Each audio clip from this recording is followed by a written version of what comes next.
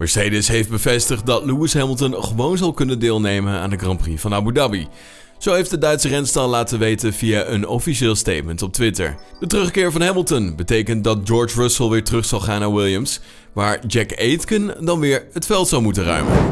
Dit weekend treedt de Formule 1 nog één keer aan dit seizoen, waarna de winterstop wederkeert. Zoals we gewend zijn, wordt het seizoen afgesloten met de grote prijs van Abu Dhabi.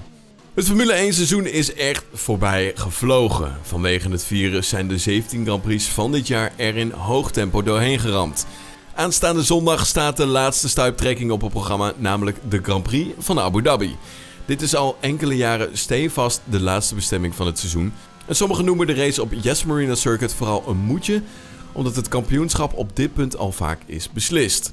Maar, moet ook eerlijk zeggen, de race in het Arabisch Emiraat heeft echter ook wel vaak voor spektakel gezorgd. De Grand Prix van Abu Dhabi wordt verreden op het Yes Marina Circuit, het duurste circuit ooit gebouwd. De baan is vormgegeven door bekend Formule 1-architect Herman Tielke en telt in totaal 20 bochten. Het asfalt voert de coureurs over 5,5 kilometer en het aanleg van het circuit heeft ongeveer 1 miljard dollar gekost, inclusief het kunstmatig aangelegde eiland Jas, waarop het circuit gelegen is. En ja, ook de lichtinstallatie heeft een flinke som geld gekost.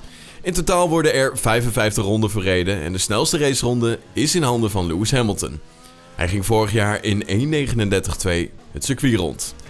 Het programma wijkt weer een beetje af van wat we de afgelopen week hebben gezien. Vandaag wordt het weekend om 10 uur afgetrapt met de eerste vrije training. Om 2 uur is het vervolgens tijd voor de tweede oefensessie. De derde en laatste vrije training wordt op zaterdag om 11 uur afgewerkt, waarna om 2 uur de kwalificatie volgt.